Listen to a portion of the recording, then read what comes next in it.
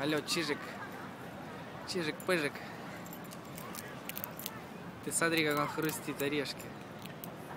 Сейчас мы его покормим.